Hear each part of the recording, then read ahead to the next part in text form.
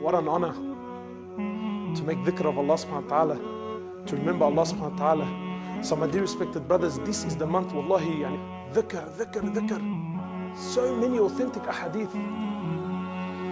لا إله إلا الله وحده لا شريك له له الملك وله الحمد وهو على كل شيء قدير Whoever says this 100 times, 100 times is rewarded, is rewarded as if he freed 10 slaves and 100 hasanat and 100 sayyat are taken away from him and he is protected from shaitan until the evening and nobody on that day nobody on the face of the planet is better than him except he who says it more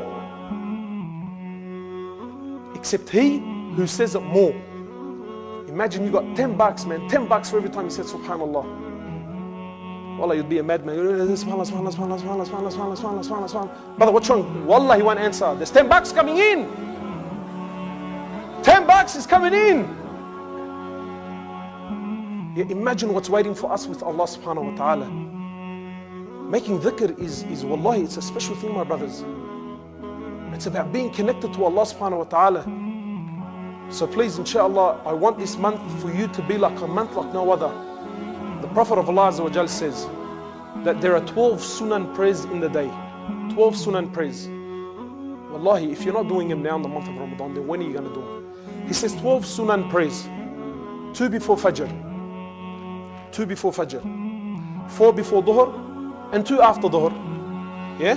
Two before Fajr, four before Dhuhr, two after Dhuhr, two after Maghrib, and two after Isha. He says, whoever performs these ones, guaranteed for him is a palace in paradise. And you didn't pay a dollar for it. I don't want to boast, man, but when I prayed then I was like, yeah, palace in paradise.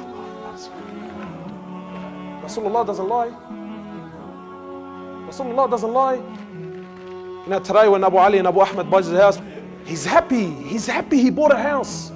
Wallah, it could be on riba. It doesn't phase him. Why? Because uh, I own something, man. Yet a palace in paradise is passing me by every single day. And I let it go for free.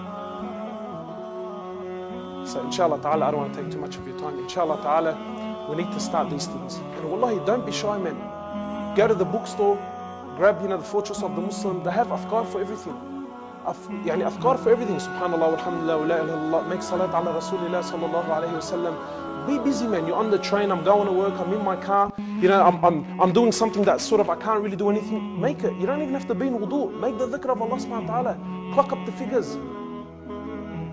And set yourself goals. Set yourself goals, you know.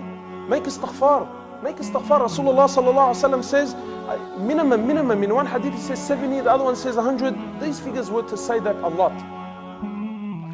Seeking forgiveness from Allah Azza wa Jalla. So inshallah ta'ala, I'll leave you with this. And please pass this message on. If you go home now and you teach whatever you've learned today, then whenever that person says it, you will get the rewards.